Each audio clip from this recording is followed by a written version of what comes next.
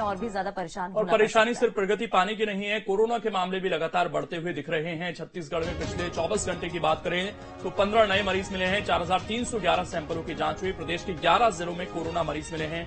रायपुर से तीन दुर्ग और कांकेर में दो दो मरीज़ मिले हैं। इसके अलावा बालोद बेमेतरा धमतरी बिलासपुर में एक एक संक्रमित मरीज़ पाए गए हैं। जांजगीर चांपा कोरिया बस्तर और सुकमा में भी मरीज़ पाए गए हैं। एक एक मरीज़ यहाँ से भी मिले हैं। अठारह संक्रमित होम आइसोलेशन से डिस्चार्ज हो चुके हैं। तो प्रदेश में कोरोना पॉजिटिविटी दर शून्य दशमलव तीन पाँच प्रतिशत पहुँच चुकी है। प्रदेश में कोरोना के सक्रिय मरीज़ अठासी हैं।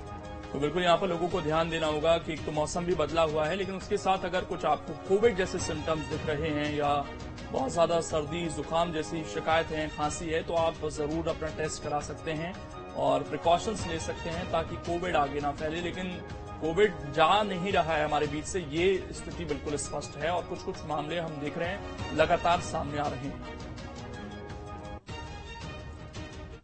और इंदौर